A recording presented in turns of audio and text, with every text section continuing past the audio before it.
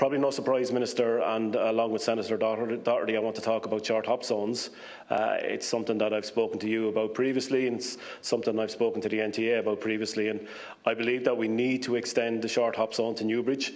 That will have a positive effect on the stations in Athy, Kildare Town, Monasterevin and Portarlington.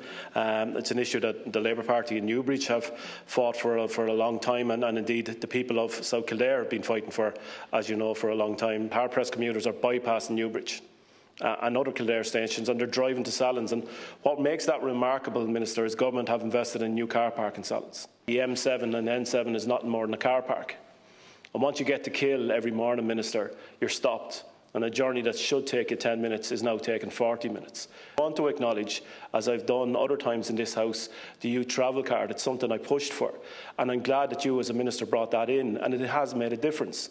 And we need just to extend that. We need to go for that €9 Euro monthly ticket, or we need to go for that free travel. And that will make the difference. It will take the pressure off the roads. It will improve everything that we're fighting for in relation to climate. Government need to take action. They need to extend the short hop zone for not just Kildare, the other counties that Senator Doherty spoke about today. We need to stop the N7 being a car park every morning as it is at the moment. Senator Doherty and Senator Wall both mentioned the short hop, and, and you're absolutely right. The patterns you talk about in the likes of Sallins, absolutely that's happening. We need to address that. We will in the coming weeks. It's due, and we'll be giving details about that shortly.